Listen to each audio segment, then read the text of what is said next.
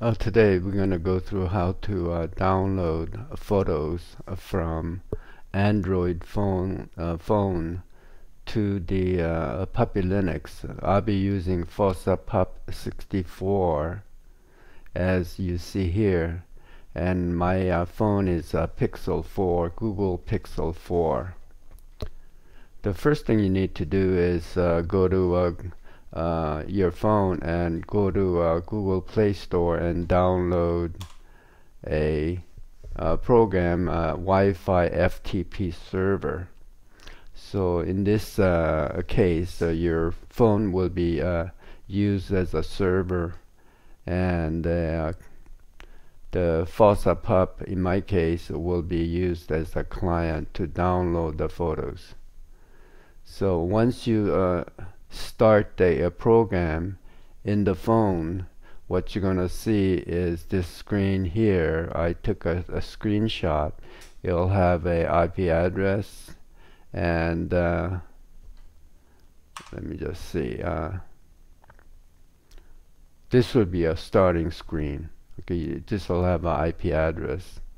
So once you uh, start once you start and activate the program what you're going to uh, see is further information. You'll see a port number here. In my case is 2221 and I can use either Android uh, user ID or password or this anonymous which is already enabled.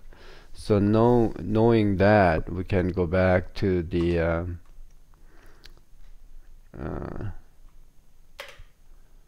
go back to the uh, client on the computer and you should have GFTP already installed. Uh, it's already installed in uh, Fossa Pup 64 but in, if your uh, Puppy Linux doesn't have it you need to install GFTP. Uh, this will also work in other Linux I believe so uh, we'll go ahead and activate it and uh, we'll go ahead and close up the uh, uh, phone. So this is what GFTP looks like. So this will have a local uh, uh computer window here and uh, in this case uh, well, we should have a photo information from the cellular phone once you get it all set up. So what we want to do is host. So the host IP address was 22 and then port was 2221 and user will just use anonymous. And you don't need the password for anonymous and we'll just see and enter and see if you get any response. It's trying to connect. Oops I didn't start my phone so let me go ahead and start it let me go ahead and get into my phone and then start the wi uh, Wi-Fi FTP server and I'll go ahead and I started it just now. So let me uh, go ahead and start it again and now we're in.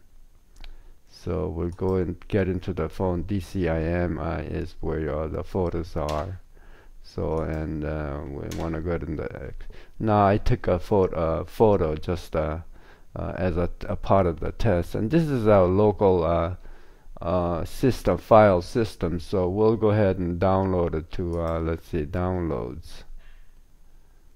So and there's so we'll go ahead and click on this from the phone and we'll use this to download it into our downloads uh, uh, folder. So this is actually already done. And if you wanna if you need to uh, delete the phone uh, photo you can go ahead and uh, click on it and then uh, go ahead and delete. But I'll go ahead and leave it there for now now, once you know where you want the local download uh, uh, where you want to download the uh, folder in your computer, and you have the computer, the uh, phone uh, information all set up, what you can do is just bookmark it. So in this case we'll go ahead and add a bookmark and we'll mention maybe YouTube and there's no password uh, in this case so we'll go ahead and add. And now it shows up in, uh, under YouTube. So next time once you get the uh, phone uh, FTP uh, server started all you have to do is go to YouTube and you'll go ahead and well actually we'll just do that again uh, we'll just demonstrate it. I'll close this FTP here and we'll go ahead and GFTP we'll start it again GFTP and then this time um, my phone is already started. So this time we'll just go straight to bookmark and go to YouTube. And you can see that the found the uh, folder is connected to the phone and uh, we can go ahead and try to download it again. It's already uh, it knows that it will just overwrite it. And okay. Okay and we'll go ahead and close this program. And then we'll go ahead and stop the uh, uh, program and the phone. And then we'll go into uh, file manager and downloads folder. And this is the uh, picture of the uh, picture I took from my phone just before we started this uh, video. So this is basically how you do this and I hope this is helpful. Thanks